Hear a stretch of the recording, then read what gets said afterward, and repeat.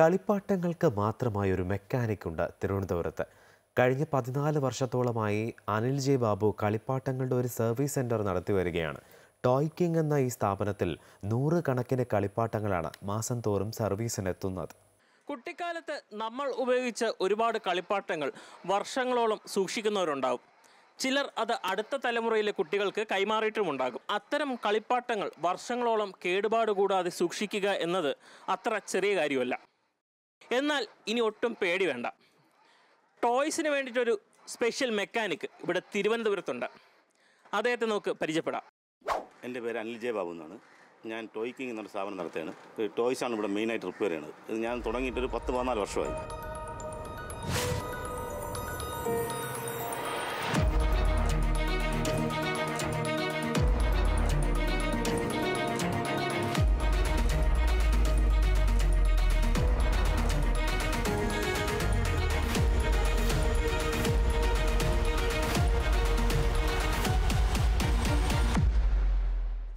ഇത് തുടങ്ങാനുള്ള കാരണം എന്ന് പറഞ്ഞാൽ എന്റെ മക്കൾക്ക് വേണ്ടി പഠിച്ചൊരു പണിയാണ്. ഈ മക്കൾക്ക് വാങ്ങിച്ചു കൊടുക്കാൻ പറ്റാത്തതുകൊണ്ട് വാങ്ങിച്ച് ഇത് പാക്കറി കടയിൽ നിന്ന് വാങ്ങിച്ചു കൊണ്ടുവന്നാണ് പിള്ളേർക്ക് ആദ്യം കൊടുത്തുകൊണ്ടിരുന്നത്. അങ്ങനെയാണ് ഈ ഒരു സ്ഥാപനം തുടങ്ങിയത്. ആദ്യകാലങ്ങളിൽ പ്രൈവറ്റ് ബസ്സിലെ കണ്ടക്ടറായി ജോലി ചെയ്തിരുന്ന അനിൽ ഒരു പാഷനായിട്ടാണ് ഈ തൊഴിൽ നടത്തി വന്നിരുന്നത്. കാലക്രമേണ തിരക്ക് കൂടിയതോടെ അനിൽ ജെ ബാബു ഈ മേഖലയിൽ കൂടുതൽ സജീവമായി. Electronic miniature car bike electric scooter എന്നിങ്ങനെ അനിൽ ബാബു പണിയാത്ത കളിപ്പാട്ടങ്ങൾ കുറവാണ്. പിന്നെ ഇവിടെ ഇവിടെ ഉള്ള ഇവിടെ തിരുവനന്തപുരത്തുള്ള ഒരുമാതിരിപ്പെട്ട എല്ലാ ഷോപ്പിൽ നിന്നും എന്റെ കാർഡ് അവർ കൊടുക്കുന്നുണ്ട്. ഇത് സർവീസ് സെന്ററായിട്ട്. അവരെ സർവീസ് സെന്ററല്ല പ്രൈവറ്റ് സർവീസ് സെന്ററായിട്ട് കൊടുക്കുന്നുണ്ട്. പിന്നെ ഇപ്പോൾ തിരുവനന്തപുരം ജില്ല വിട്ട് പല സ്ഥലത്തും പറഞ്ഞുണ്ട് ഇനി കൊറിയറിലും വന്ന് സാധനം പറഞ്ഞുണ്ട് അത് ഞാൻ ചെയ്ത് കൊടുക്കാറുണ്ട്.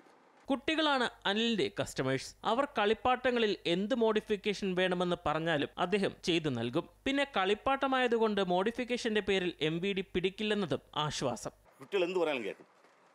അവരെന്ത് പറയാനും ചെയ്യും. ചിലത് നമ്മളെ ഉപ്പാട് വരുത്തിയിട്ടുണ്ട്. ഇതാ ഇപ്പോൾ അകത്തൊരു ഭയം വണ്ടി ഇരിപ്പുണ്ട്. അതിനകത്ത് യമകയുടെ ഹോണാണ് വെച്ചിരിക്കുന്നത് അപ്പോൾ സ്പീഡ് കുറവെന്ന് പറഞ്ഞാൽ രണ്ട് നാല് മോട്ടറുള്ള രണ്ട് രണ്ട് വലിയ മോട്ടർ വെച്ച് സ്പീഡ് കൂട്ടി. ഇപ്പോൾ ആ നീല വണ്ടിയിലും മോട്ടർ മാറ്റണം. അതിന് വലിയ സ്പീഡ് കൂട്ടണം. സ്പീഡ് കൂട്ടിയതിന് ശേഷം പറയാം ഫോൺ വേണോ വേണ്ടേ എന്ന്. ഞാൻ പറഞ്ഞു ആയിക്കോട്ടെ എന്ന് പറഞ്ഞു വിട്ട്. അങ്ങനെ പല പിള്ളേർ ചിലർ തോക്ക് വയ്ക്കാൻ പറയും. കുട്ടികൾക്ക് അവരുടെ ഇഷ്ടപ്പെട്ട കളിപ്പാട്ടങ്ങൾ കേടാകുന്നതിൽ പരം സങ്കടം മറ്റൊന്നുമില്ല. അതുപോലെ തന്നെ പതിനായിരക്കണക്കിന് രൂപ മുടക്കി വാങ്ങിക്കുന്ന കളിപ്പാട്ടം പരീക്ഷണം എന്ന പേരിൽ കുട്ടികൾ ഊരിപ്പറക്കി ഇല്ലാണ്ടാക്കുമ്പോൾ വേദനിക്കുന്ന മാതാപിതാക്കളും ധാരാളമാണ്. ഈ രണ്ടു കൂട്ടർക്കും അനിൽ ജെ ബാബു വലിയൊരു ആശ്വാസം തന്നെയാണ്. എന്നാൽ തനിക്ക് ശേഷം തന്റെ ഈ കഴിവും ടോയ്ക്കിംഗ് എന്ന ഈ കുട്ടി സാമ്രാജ്യവും മുന്നോട്ട് കൊണ്ടുപോകാൻ ആരുണ്ട് എന്ന ചിന്തയും അനിലിനെ അലട്ടുന്നുണ്ട്. പിന്നെ ഒരു വിഷമമുള്ളതെന്ന് പറഞ്ഞാൽ ഇത് പഠിപ്പിച്ചു കൊടുക്കാൻ ഒരാളെ കിട്ടുന്നില്ല. ആരെങ്കിലും വിളിച്ച് പഠിപ്പിക്കണമെന്നൊക്കെ വിചാരിച്ചിട്ടുണ്ട്. പക്ഷേ ആർക്കും താല്പര്യമില്ല. പഠിക്കണമെന്ന് താല്പര്യമെന്ന് പറഞ്ഞുകൊണ്ട് പെൺകുട്ടി വന്നു. അതിനെ നമ്മൾ നാട്ടുകാർ സമ്മതിച്ചില്ല. അവസാനം പിള്ളേർ പറഞ്ഞു പപ്പ പഠിപ്പിക്കരുതെന്ന് പറഞ്ഞു. അവസാനം പിന്നെ അവർ തന്നെ തീരുമാനിച്ച് അങ്ങനെ റിസ്ക് എടുക്കണ്ടെന്ന് പറഞ്ഞുണ്ട് കുടുംബങ്ങളിലെ ഏതൊരു ഇളയ സന്താനത്തെ പോലെ എന്റെ ജ്യേഷ്ഠൻ ഉപയോഗിച്ച് ഉപേക്ഷിച്ച് ഒരു കേടായ ഒരു ട്രൈസൈക്കിളായിരുന്നു എന്റെ കുട്ടിക്കാലത്തുണ്ടായിരുന്നത്. അന്ന് അനിലേട്ടനെ പോലെ ഒരാൾ ഉണ്ടായിരുന്നെങ്കിലെന്ന് ഞാൻ ആലോചിച്ച് പോവുകയാണ്. ക്യാമറമാൻ വിഷ്ണുവോടൊപ്പം അരവിന്ദ് വിജയ് അമൃത ന്യൂസ് തിരുവനന്തപുരം.